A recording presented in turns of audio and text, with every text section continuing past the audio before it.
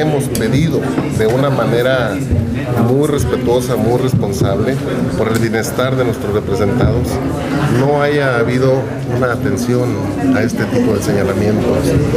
Lo digo y lo reitero, no es una intención ¿sí? de denigrar al secretario de salud, sino es un hecho que realmente está suscitándose.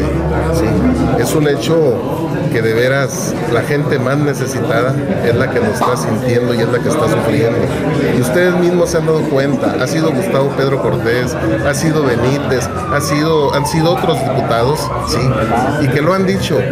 Pero yo digo, si nosotros como diputados no hay una respuesta ¿sí? a la necesidad, al servicio y al derecho que tienen los ciudadanos, pues ¿qué se puede esperar?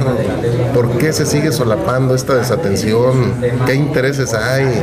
La verdad, los gobiernos municipales, los gobiernos estatales, el gobierno federal debe precisamente de tener un cambio, teniendo a las personas más idóneas, a las personas con el deseo de servir y fortalecer la gobernabilidad y la responsabilidad, en este caso del gobernador del estado. En ese punto que usted menciona, ¿cuántas son las personas que están viendo afectadas por no contar con los servicios adecuados de salud?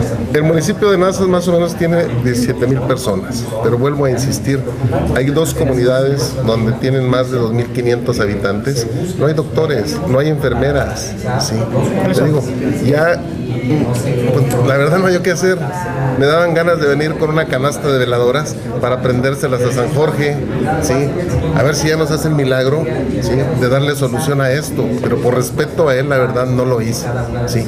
Por eso digo, eh, alguna ocasión decía, bueno, ¿qué tenemos que hacer para llamar la atención?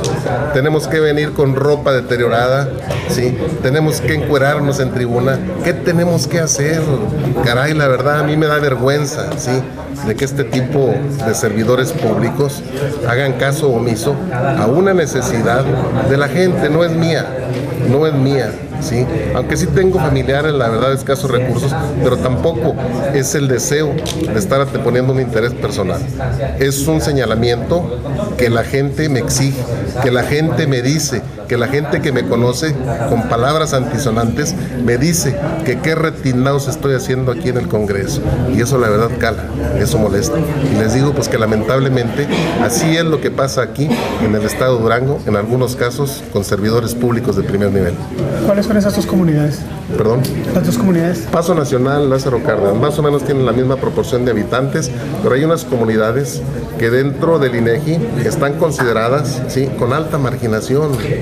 Y vuelvo a insistir, la verdad, a mí me gustaría de veras eh, que el día que ustedes quisieran, alguna vez hice la propuesta, sí, para que vean que no es una intención de señalamiento político electoral, no, es un problema de antaño que existe, sí, y que desafortunadamente hay oídos sordos.